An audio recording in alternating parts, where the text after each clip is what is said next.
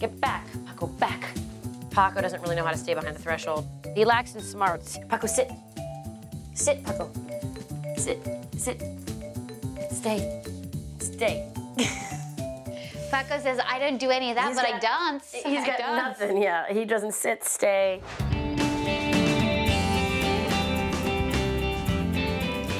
Once Dash is up from his nap, it's time for him to eat.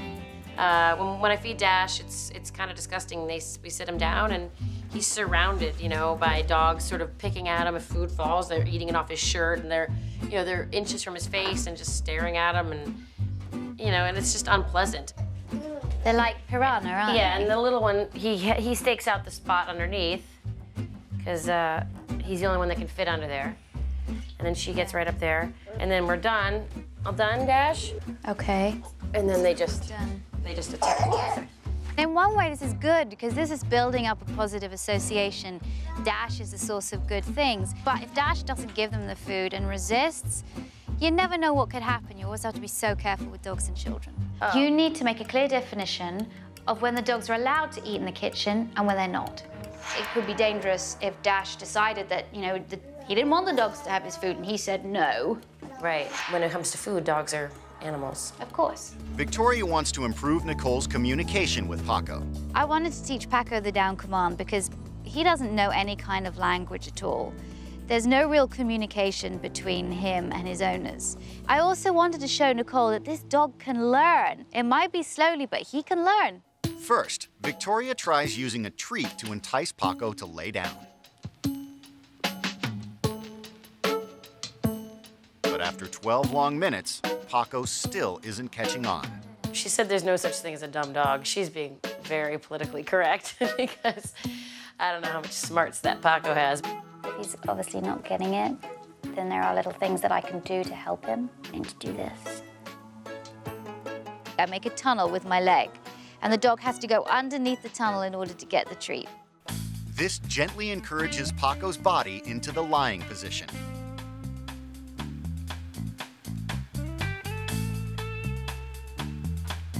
After another 12 minutes, there's a breakthrough, Down. and Victoria adds the vocal command. Good boy, all right. Now it's Nicole's turn.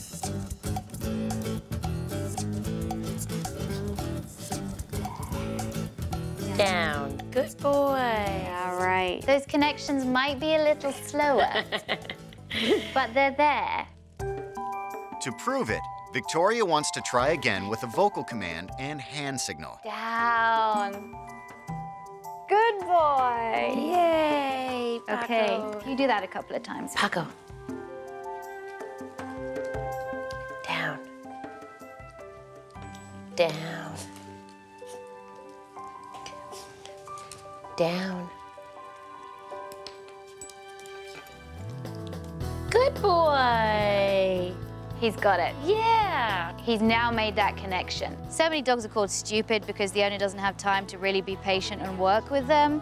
And I think Paco was in that category, but you know, he's not a stupid Yeah. dog. He takes longer to learn, longer to figure things out, but once he does, he's got it.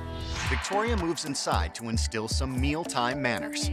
Now, can you do what you do with the dogs at meal times and get them behind the line of the doorway? Okay, guys, back. Back, back, back. Back. Back. Stay. Okay, good. Thanks to Nicole's previous training, the larger dogs know how to stay out of the kitchen. But Paco is another story. Paco's under your chair now. Uh, get back. Back, back, back. Good. Back, back, back. Uh-uh. Back, back, back, back, back. Back. No. Back. And what you can do, just get up with your body just body block. So just sort of, that's right. You sort of walk into him, as it were. There you go. Stay. As far as standing at the doorway, Paco has the hardest time, but he has the hardest time with everything. He's just sort of slow on the uptake. He doesn't quite get the process as well as the other dogs do. Back. Stay. It takes several more attempts, Stay. but when Nicole stays firm, Paco finally relents. That's not so bad. And when I'm cooking, the same thing. When you're cooking, the dogs aren't allowed in here. They come in, you just do your back. Y'all done, Dash? Now, Back. Back. Stay. how interesting that was. As soon as you got up, Yeah. it was like, okay, here we go. Yeah. And you said, mm-mm. Yeah.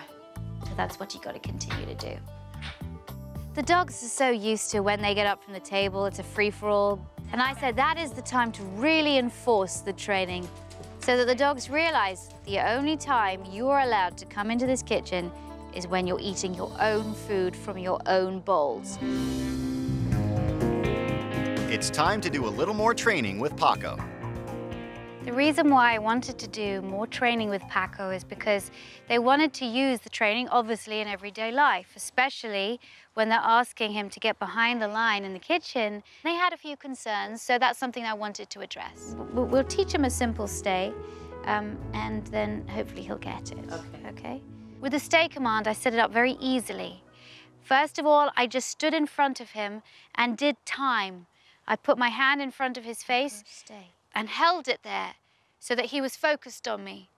I waited for about five, ten seconds, and then I rewarded him. I gradually built up the duration before I started with the distance. Stay. Good boy. Good boy. You're just just a movie dog. Stay. Stay.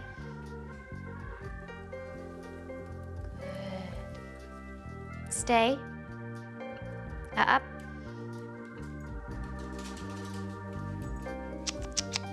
Stay. Stay.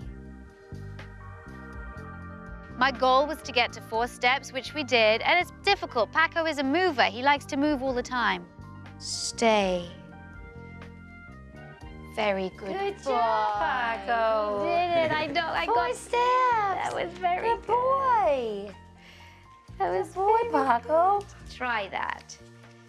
You try that and see how he responds. We need to get him sitting and staying or, or you know, laying down, down and staying. We need to get him to do that in some sort of way that helps us in our day-to-day lives.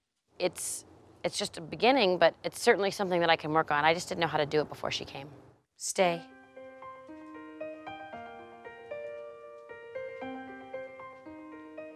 Huh?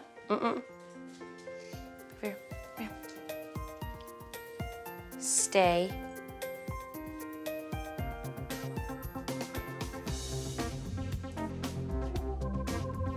Stay.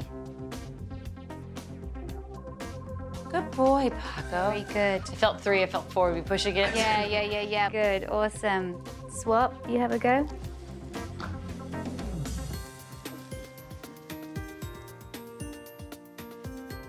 Stay. Good boy.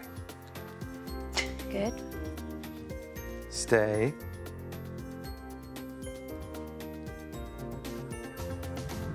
Stay. No, no, no, no, no. Stay. It's good.